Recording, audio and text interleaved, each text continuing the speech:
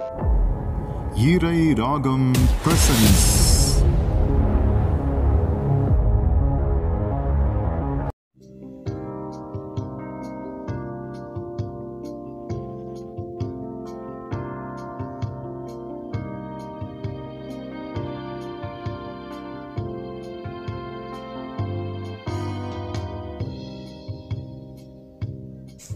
Dear friends of the cross, I am so happy to meet you on this fourth day. My dear friends of the cross, there are two companies that appear before you each day the followers of Christ and the followers of the world. Our dear Saviour's company is on the right, climbing up a narrow road made all the narrower by the world's immorality. Our Master Jesus Christ leads the way barefooted, crowned with thorns, covered with blood, and laden with a heavy cross.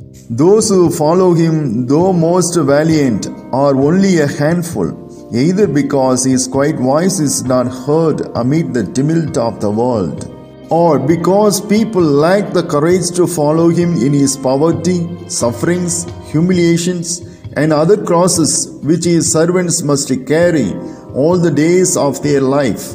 On the left hand is the company of the world or of the devil.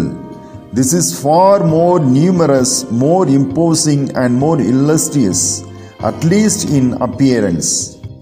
Most of the fashionable people run to join it, all crowded together.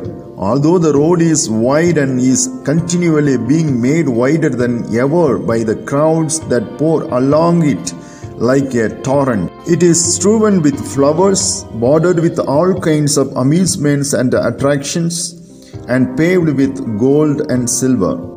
Dear friends of the cross, bow down before the holy cross as I bless you. In the name of the Father, and of the Son, and of the Holy Spirit. Praise the Lord. Ave Maria.